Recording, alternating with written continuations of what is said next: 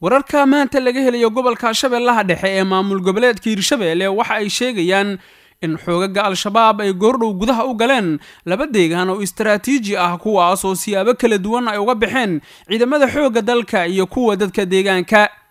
Deegaanka lagu magacaabo cali fooldheere iyo sidoo kale deegaanka ciidciidka ayaa la soo warinayaa inay ka baxeen ciidamada xoogga dalka iyo kuwa dadka deegaanka waxaana deegaanadaasi hadda maamulaya oo gacanta ku haya xoogaga al-shabaab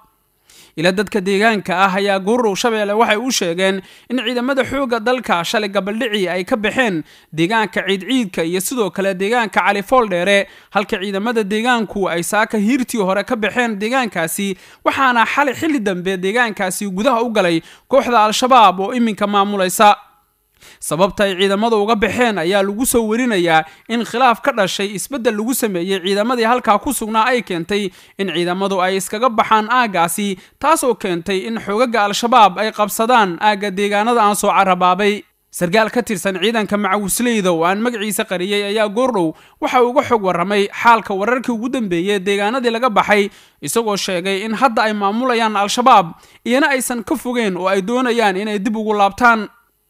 waxaa ka jira aagga nimanka qawaarista ah saaka subax soo weeraray. Toban saac camal ay yimaadeen. Saaka waagu markuu beriba ayagoo meesha timid ayago ku jira lalaah marka halkay qabsadeen ma ciid ciidka miyaa mise? Ciidciidka meel hawda waa timida oo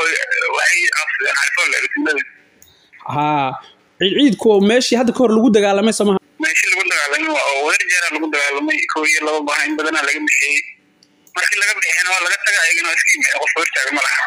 marka waa ciid ciidka iyo meesha kale magaceed ay qabsadeen. Meesha kale califoolera waa isu muuqaan meesha oo tuuladeeda waa duqulda waa califoolera tuulada oo ku dhegan waa waxa dhegeysta haa marka hadda kooxdii baa joogta ciidamadii deegaanka iyo kuwii xoogga dalka way ka baxeen. Kuwii xoogga dalka shalay iyo waa joogeen xabashiidkii ka tageen ciidankii oo deegaanka joogay ciidanka deegaanka aada yar yihiin iyo tira badno hub iyo ku filan ma haystaan iyo rasaas iyo wax kastaa ka maqan marka ciidanka dowladdana waa ka tageen saaka haddii loo sheego riboodka wax kasta loo sheegana wax oo ciidanka deegaanka garab soo siiyo oo dhiirigeliya lama arag.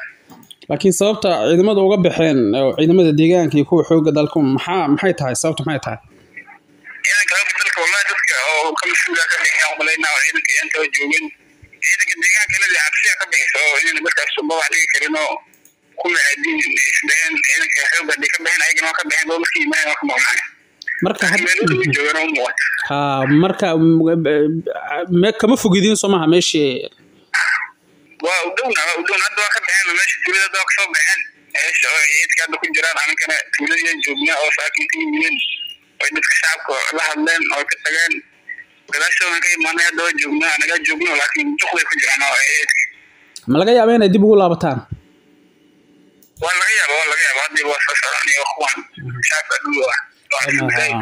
si kastaba ha ahaatee ma ahan markii ugu horreysay oo ciidamada dowladdu ay ka baxayaan deegaano ay ka qabsadeen kooxda al-shabaab tan ayaa loo arkaa inay dhabarjab ku tahay howlgalladii ka dhanka ah kooxda al-shabaab kuwaasoo guulo waaweyn ay ka gaareen ciidamada xoogga dalka iyo kuwa dadka deegaanka oo al-shabaab ka saaray deegaano ay sanado maamulayeen.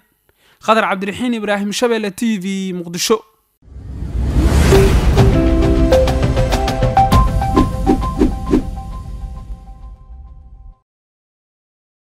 abka dahabalaas oo lagugu sameeyey habkii ugu casrisanaa waxaad hadda hal meel ka wada heli kartaa dhammaan adeegyada dahabshiil gruub adigoo isticmaalaya ablikeeshinka dahabalaas oo adeegyo dheeraada lagugu soo kordhiyey ku bixi ku iibso ku kaydso. Dahabalaas habka ugu casrisan ee aad ku maamulan karto lacagtaada